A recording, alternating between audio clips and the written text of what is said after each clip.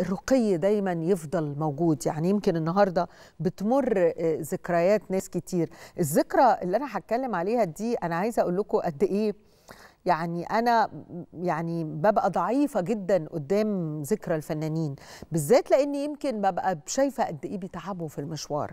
والذكرى اللي هتكلم عليها الفنان قدير الفنان الكبير نور الشريف.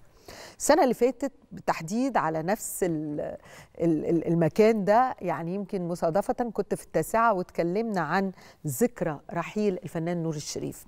فنان نور الشريف يعني فنان كبير اسم كبير رحل عن عالمنا في 2015 وترك وراءه تاريخ فني كبير متنوع جدا مسرح سينما دراما وقدم حاجات كتيرة ومختلفة مش ممكن أبدا حد ينساها. كمية من الجوائز كمية من التميز كمية من آه الأفكار اللي طرحها. آه نور الشريف كمان لو إحنا بنتكلم عن الفنان كقيمة فنور الشريف يمكن آه ثقل الموهبة أو يعني عظمة الموهبة عند نور الشريف.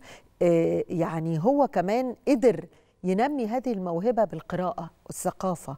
والتنوع وإنه يفضل طول الوقت عنده نضوج مختلف. فأنت لو شفت مثلا بدايات نور الشريف وشفت أعمال كتير مهمة كان يهتم إن هو يعملها وإنه يقدمها طول الوقت وتبقى بتجسد الشخصية المصرية بكل أشكالها وكل أبعادها.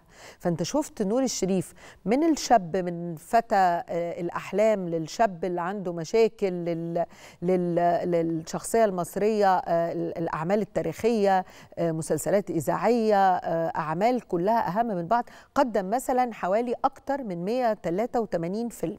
و24 مسلسل وقدم كمان يمكن مسلسلين للإذاعة وست مسرحيات. يعني مهما اتكلمنا عن نور الشريف أنت عايز أعمال كتير بس لازم هتلاقي عند نور الشريف محطات كتيرة. وكمان هتلاقي علاقته بالوسط الفني والفنانين مختلفة. يعني هو جه في فترة مثلا قرر إن هو طول الوقت الحقيقة هو بيساعد الوجوه الجديدة بس جه في فترة حاول يجدد ولما الدراما بتجدد نفسها وقدم عمل زي الدالي. في الدالي قدم ثمان وجوه جديدة والثمان وجوه دول ما زالوا موجودين وبيقدموا هم البطولات الآن. يعني متألقين هم أبطال الأعمال عدد من الأعمال الدرامية اللي موجودة. فده نور الشريف. حب مثلا يقدم مسلسل زي عمر بن عبد العزيز عشان يقدم هذه الحقبة التاريخية والدينية بشكل بسيط تصل إلى العامة لأن المسلسلات دي على قد ما هي صعبة جدا بس هو رأى إنه التقمص بتاعها وإنه يقدم الشخصية دي ببساطة بسلاسه هتأثر كتير في البسطاء والعامة وتقدم قيمة تاريخية كمان مختلفة. نور الشريف كان دايما عنده فكر عنده آراء حتى مكتبته العظيمة تبرعت بيها زوجته الفنانة بوسي وبناته الحقيقة مي وسارة وموجودة الآن في مكتبة اسكندرية ولأنه الحقيقة كان قارئ مهم جدا. أنا كنت الحقيقة يعني كان عندي من الحظ إني أشوف المكتبة العظيمة دي وكنت ببقى منبهرة.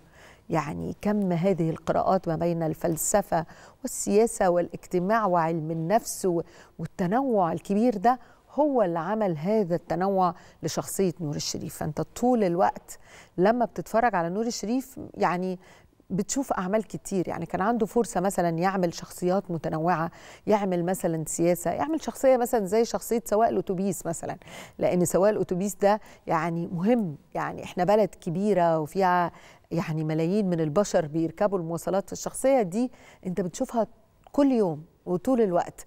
وطبعا مع عاطف الطيب قدر يقدم ويحل يعني الشخصية دي. عمل مثلا حاجة زي شحات أبو كف. يعني عمل كوميدي اللاعب اللي بيلعب للزمالك وإزاي يقدر يلعب. فعلى فكرة هو كان زملكاوي جدا وكان عاشق للكورة. بس كان في لطافة. يعني كان بيقدم الكوميديا ويقدم الجدية ويقدم السياسي ويقدم المحنك ويقدم الديني والتاريخي. يعني يقدم الفتوة مثلا. يعني يعني في المطارد قدم الحقيقة شخصيات مهما اتكلمت عن الرائع نور الشريف يعني لا أفي حقه ابدا لأنه يستحق الكثير. زي ما قلت الفنان لا يرحل ابدا يعني يعني يتركنا ولكن تبقى الأعمال دائما تحكي المشوار وتقدم كل ما قدمه بخير واحترام وفن.